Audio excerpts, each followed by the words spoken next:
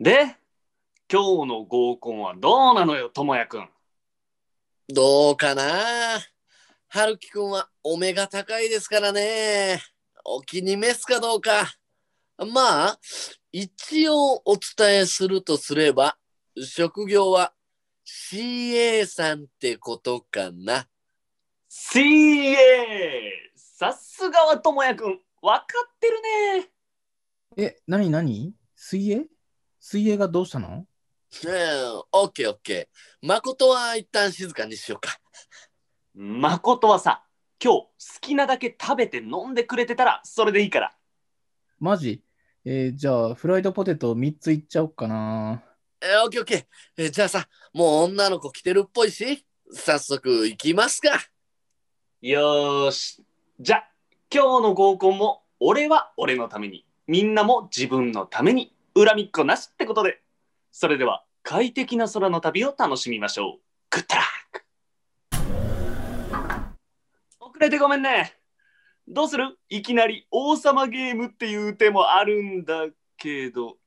は？まあまあまあ、落ち着いて落ち着いて。おい、友や、どういうことだよ？おい、春樹、落ち着いて。ほら、クールダウン、クールダウン。これのどこが落ち着いてられんだよ。あ？フライドポテト、フライドポテト。ああれ？あきこちゃん？なんでアキコがいるんだよ。しかも、アキコ一人しかいねえじゃねえか。いや、これには訳があって、わけなんて聞いてねえんだよ。どうやったら CA がアキコに変わるんだよ？あのー、いや、実は僕、あ、あの、忍術が使えるようになりまして、お前、ふざけてんのか？おい、覚悟できてんだろうな。うん、いやいやいやいやいや、春樹くん、暴力は良くない。えな、聞いてくれよ。お前の話なんて聞くわけねえだろ。私が頼んだの。は？私が智也くんに頼んで、春樹を連れてきてもらったの。いいや、ほら、あきこちゃんと春樹が別れたって聞いて、お前、普通に言っても来てくれないよなと思って。えな、一旦座ろうぜ。ふざけんな。俺たちはもう終わったんだよ。私の中では終わってないもん。知らねえよ。恋愛なんてな、ゲームと一緒なんだよ。俺ん中では終わったゲームに何の興味もないの。お前、そんな言い方はないじゃん。ああ、もういいよ。俺は帰るから。え、え、でもさ、終わったんならもう友達でしょ？だったら友達としてご飯食べればいいじゃん。なんで帰る必要があるの？そうだよな。誠はいいこと言うな。お前、フライドポテト5つ頼んでいいかな？やったーじゃあ、座ろう座ろう。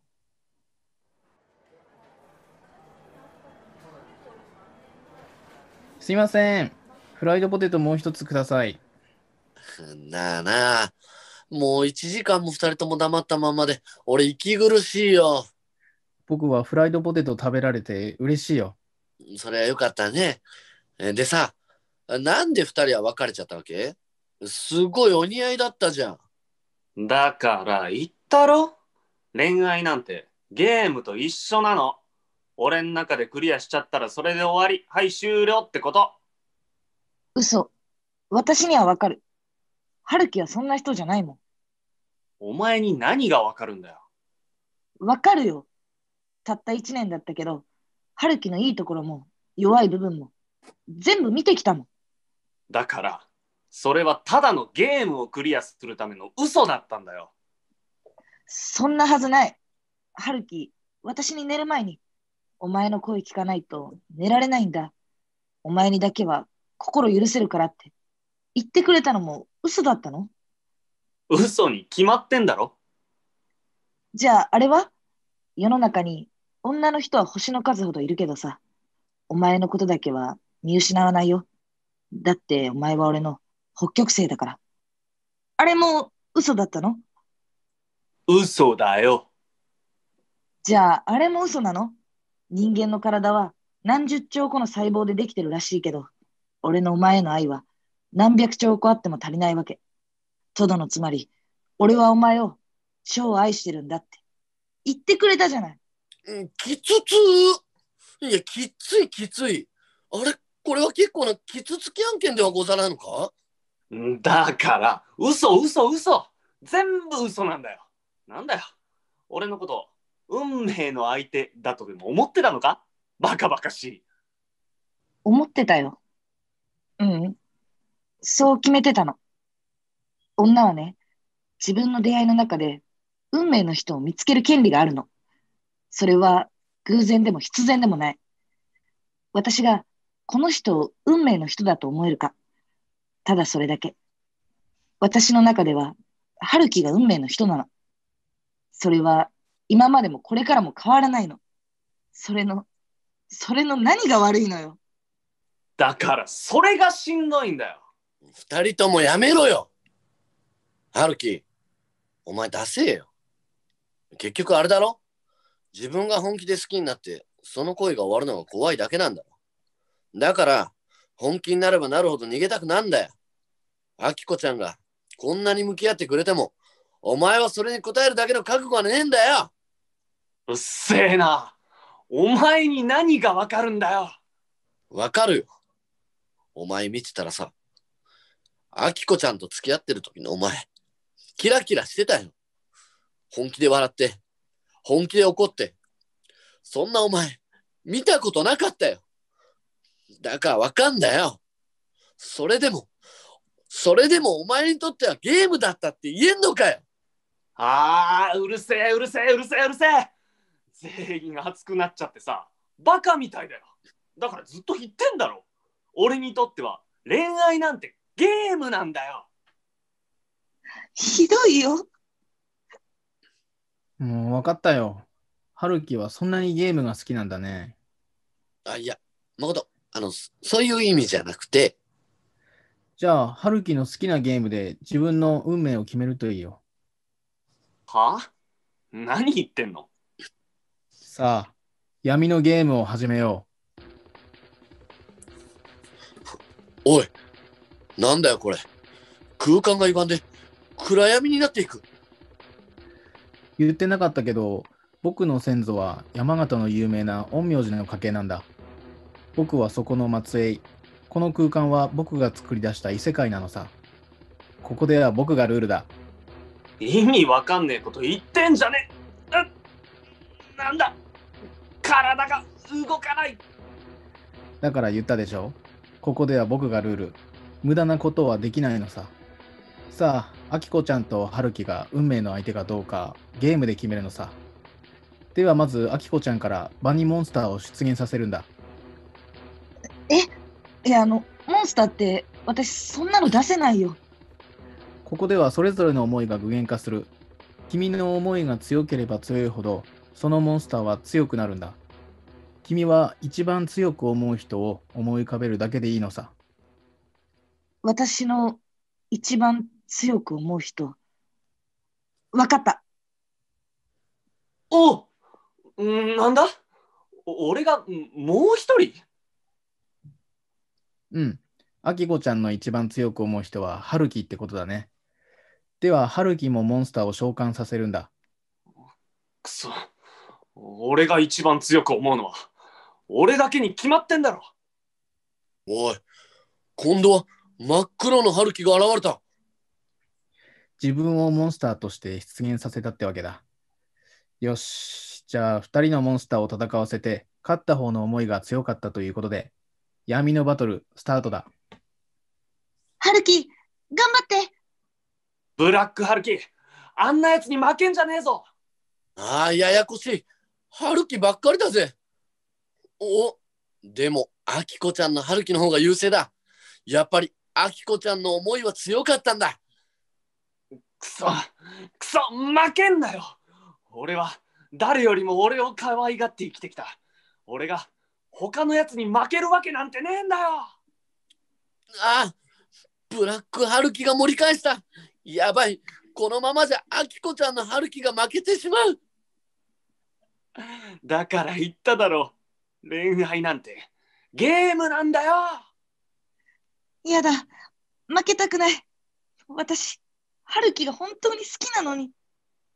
これでとどめだあ、あきこちゃんああれ？ブラック春樹が光に包まれていく。え？ブラック春樹があきこちゃんに変わってる？は？これはどういうことだ？結局君が強く一番思っていたのは自分じゃなくてアキコちゃんだったってことだよ。そんな、そんなことねえよ。これはゲーム。君の大好きなゲームでそうなったんだから認めたらどうなんだ？お俺は、俺は、春樹、もういいよ。認めてくれなくてもいい。私があなたを変えてみせるから。だから、ずっとそばにいて。だってあなたは私の運命の人なんだから。アキコ。俺、ずっと逃げてた。お前を失うのが怖かったから。でも、気づいたよ。お前を失う怖さより、お前が好きだって気持ちの方が、何倍も、何万倍も強いってこと。俺と、ずっと一緒にいてほしい。ほんまに世話の焼ける二人やで。あれ？暗闇が明るくなって、眩しい。ああって、あれ？戻ってる？よし、仲直りもできたことだし、今日はお祝いにパーッと飲もうよ。お前、こんなすごいことできるなら言っとけよな。本当、びっくりしちゃった。だって言ったって信じてくれないし、普段はこんな能力使わないから。あ、そんなことよりフライドポテトもう一つ頼んでもいい？ったく、お前って本当にすごいのかすごくないのか。ま、誠は誠だから、別にいっか。よーし、じゃ、今日はとことん飲むか。ねえねえ、どうする？お会計はゲームで決める？お前、ちょ、お、お前、ちょ、いや、ほんお前、お前、ちょ、ちょ、ゲーム、ちょ、お前、違う、違う、ちょ、お前、お前、お前、いじんなっつうの。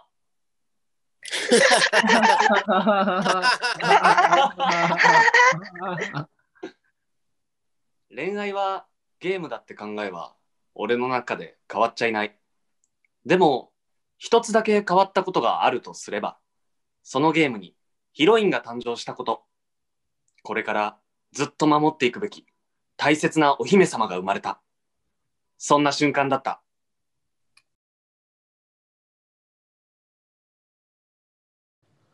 皆様、えーご視聴ありがとうございました。今回、運命の人、ラブゲームの脚本をさせていただきました。えー、拓郎の木村バンドです。よろしくお願いいたします。ありがとうございます。えー、まあ、並びに本編では、智也という役をやらせていただきました。えー、まあ、今回のキャスティングのメンバーもご紹介していきたいと思います。まず、主人公、えー恋愛なんてゲームだと言いながら一番熱い恋心を抱いていた春樹役金目鯛マキシ君ですお願いしますありがとうございました。ありがとうございます、やらせていただきました。えーそして、えーそのヒロインであります。アキコ役のもうこの人しかいないエルフ春ありがとうございました。そして実は一番すごかったうん。誠役職人構造ありがとうございました。ありがとう、はい。皆さんありがとうございましたありがとうあございました。りがとうございました。ね、あのー僕が選ばせていただいて、ありがとうございます。え嬉しいです。いやー、あの、ごめんね、俺これ実体験を元にしたやつやねんけど、た。え実体験？嘘つけ。も実体験をね。え俺も恋愛なんてゲームだって言ってたら、ちょっと友達が闇のゲーム始めてきて え、うまいこと収まったっていう実体験、ノンフィクションなんやけど。ああ、うん闇のゲームからがもうフィクションでしかないんですから。その絶対に。ただもう正直、俺の中ではやっぱ撮る前から、まあこのメンバーやなとは思ってたけど、やっぱ撮ってからもやっぱ良かった。このメンバーで。嬉しい。マジ？うん。で、意外かもしれへんけどさ、うん。このキャスティングで一番最初に決まったの構造やからな。ありがとうございます。すごいな。さん。うん軸やえー、意外と実は構造が軸やって。えー構造はどうやった？それ選ばれた時は。うんいや、初、初めての、あの、ラジオドラマだったから、ちょっと、もう台本届いた時から緊張して、汗かいてたな。いやでもあのー春がずっとやっぱフライドポテトのあのリズミカルな言い方すごい気に入ってたで。いや、も癖になるな。はい、可愛すぎました。音符ついてるし、なんか、う歌 歌な歌なのかな？なのかよくわかんない。あ歌なのかなとも思ってたんや。そう、でも歌は違うかってなって、リズムリズム系で行かしてもらった。で葛藤がありますよね、台本見て、これどういう言い方なんやろっていう。うん。うんまあマキシーだけは全アドリブでやってもらってるから。そうやね。えぐーえぐーやっぱ、うん俺とキムちゃんの仲やから。そう。もう正直ね、やっぱマキシを選んだ理由っていうのはもう一個しかなくて。はい。やっぱもうマキシと俺はうん結構普段からほんまこれぐらいのノリ平気でやってもうてんねん。えー、まあ、今回はさすがに、その、もちろんね台本はもちろんだけど、この尺の倍ぐらいのことを誰も見てないところで2人でやってたりするから。えー、ほんまに仲いいな。それは。うん。普通にその後輩とかに見せてるとか先輩とかに見てもらってるとかそんなんもなく、そんなんはない。うん、本当にオチとかもオチとか決めへんでもうずーっとやってるから役に入りきって。えー、じゃあ、こんなんやりやすいでしゃあなかったでしょ、今日。まあ楽しいで。うんあれそうやな。ないよそんな。ん。なんか、もうオファー、うん、オファーが来た時マキシを主人公で考えてるって言ってくれて、いや、ありがたいなと思って、うん。まあでもそんな結構簡単なやつやからってうん。言われて、あ、じゃあ、うん。台本とかセリフ量少ないんかなと思ったらむちゃくちゃ多かって。で、でも、まあまあ、あの、やってみたら、キムちゃんとやってるノリのことでできるやつやったから、うん。簡単っていうのは嘘じゃなかったなって。結構延長線上やったやろ？延長線上やから、ううんん。楽しかった。いや、バンドさん、うん。でもほんまに、その、演者、私、本当に台本届くまで誰か分からなかったんですよ、ギリまで。はい。あ、春にだけずっと教えてなかったよな。なんかずっと、なんかジョニー・デップとか、なんか海外スターみたいなばっか言われるんです、私。ずっとそうそう。ジョニー・デップは今仮押さえで入ってるわとか。そうなんですよ。でそれだけが嫌でした。楽しかったけど。仮で抑えれんねや。仮押さえてる。ななんか春にだけはずっと誰とやるかずっと言ってなかったよな。ねそうなんですよ。だからそれだけ今後人とやるときはやめてくださいって皆さんに言いた。そういうのだけは。でもあの、うん、俺これをやるにあたって、うん。いろいろ聞かせてもらったの、人の。うん、うん反撃ラジオドラマ。はいそれこそ、マキシのを聞かせてもらってんの。あ、ありがとね、だから、それで、春出てたやん。はい、出させてもらいました。お、それ聞いて決めたとかあんねん。うんえーうんむっちゃ良かったから、春がう。。よかった、春。うわーありがとうございます。めっちゃよかった。な俺さ、この、その、セリフいろいろ考えた中でさ、一番やっぱ魂込めて作ったセリフがさ、はい女の人は自分の出会いの中で運命の相手を見つける権利があるみたいな。自分運命の人は自分で決めるっていうセリフ、はいこれ一番やっぱ魂込めて作ったセリフはさ、はい春がもう一回撮り直していいですか？って言って、はい言ってた、言ってた。やっぱその熱入ってやってくれてるのやっぱ嬉しかったもんな。うん。恥ずかしいですって。それ取り直してるとこ、それ。や普通のちゃんとしたとこやったから。えでもやっぱ確かにキキ。ムちゃんがいつも言ってるセリフやもんな。そう、俺これプライベートで言ってるセリフやから。いや、セリフやから。はず、やめた方がいいですって。恥ずかしい。恥ずかしいそうだ。からな。やっぱ女性ってさ、やっぱ白馬の王子様とか運命の人ってさ、なんか来てくれる誰なんだろうって思ってるかもしれんけどさ、はいそうじゃないねん。お前はいつだってお姫様なんだから、お前が選んだらそいつが王様なんだよって、王子様なんだよって。これはあのよくプライベートで常にこれ言って じるゃあもう言わん方がええって。いや絶対言わない方がいいです。もうほら、ま、マキシがもう日々ほら、なやってる。響くねん。響かほらもうナイトがおるわ、マキシというナイトが。ほら、ほら、忠誠誓ってるわ。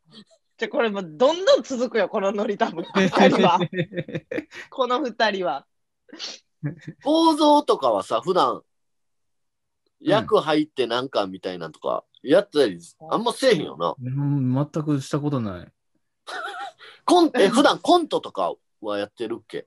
漫才コントでギリやるぐらいで、うん。あんまりこういう入り込んだやつは、ね。ごめんね、構造だけ夜 え、ああ、後ろ。お前な。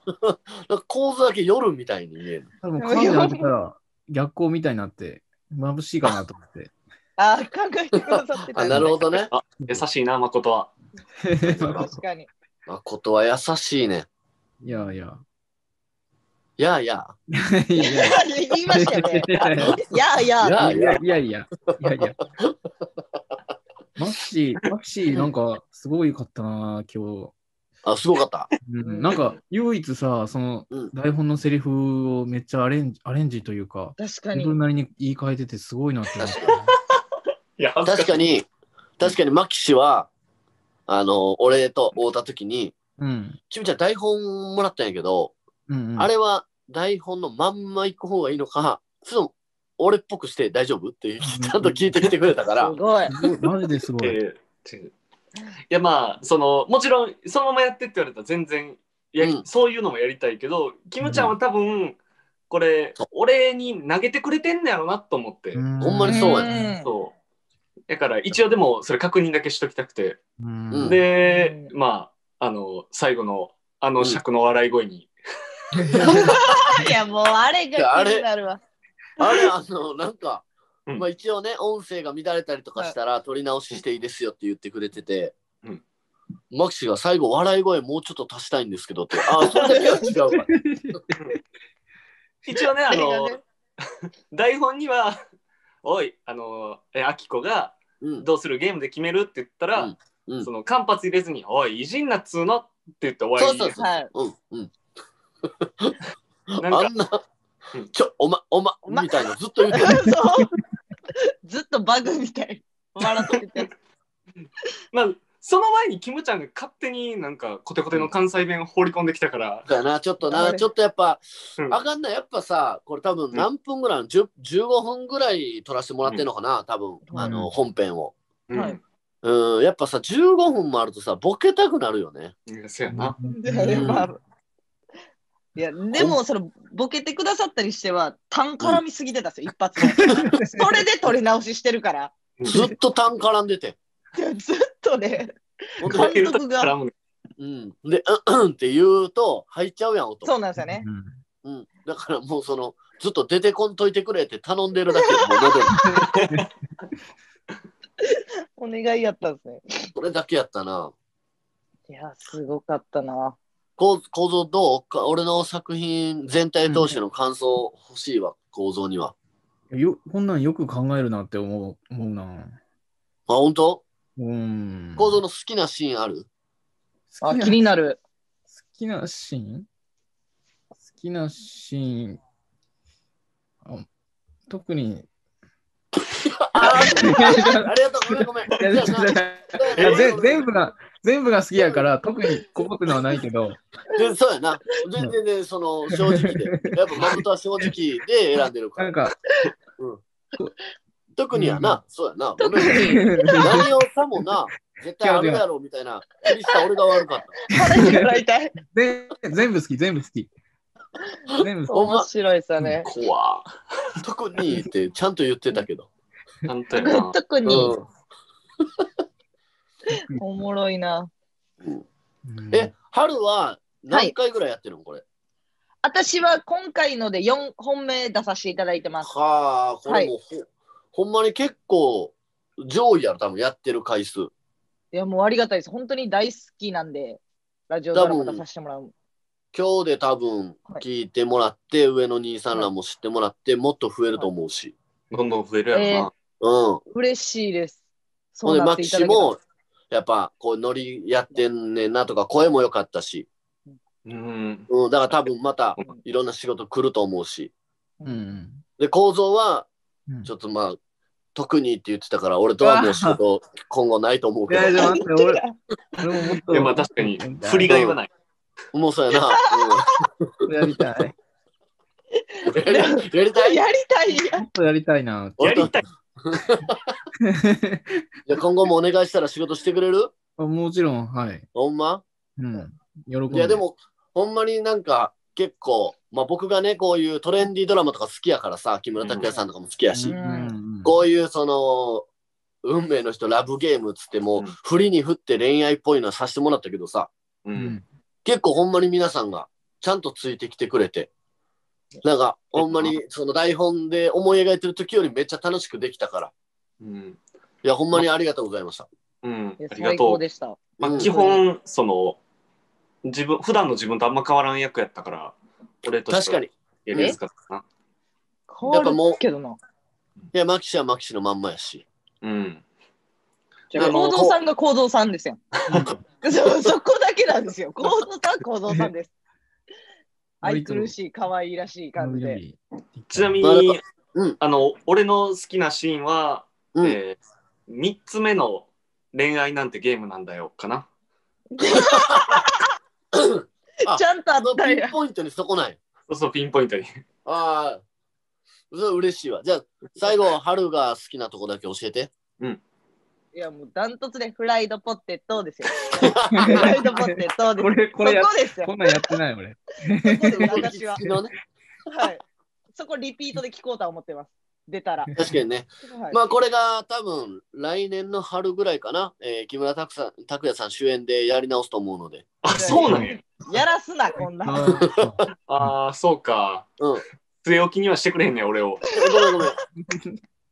で、あの、女まあまあ女性も、もう、はいやっぱちょっと女優さんで行くと思うし、長谷川京子さんとかその辺で行って。ええちゃんとした女優さんや。で、構造だけ構造のまんまで行くから。俺は俺だけや。俺このまま。誰って見たい構造はこのな。ままですので。いや、でもほんまに皆さんのおかげで楽しい作品になりました。ありがとうございました。ありがとうございました。えー、最後までお聞きいただいた皆さんもご視聴ありがとうございました。ありがとうございましたありがとうございました。